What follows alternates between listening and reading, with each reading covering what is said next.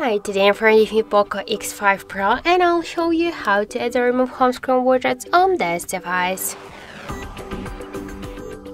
So first let's open the screen where you want to add the widget and just to do that we should hold for a while our home screen with the finger for a while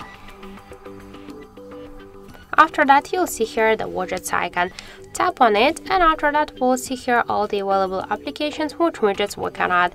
For example, let's use the calendar shadow. Just to add this widget, click once on it and now it's automatically added to our home screen. If you want to move it uh, here on the home screen or between the screens or just to create a new screen with a widget, you should just hold it and drag it. To resize it, we should just hold it and after that we can make it bigger or smaller and to remove it from our home screen we should hold it and tap to remove icon.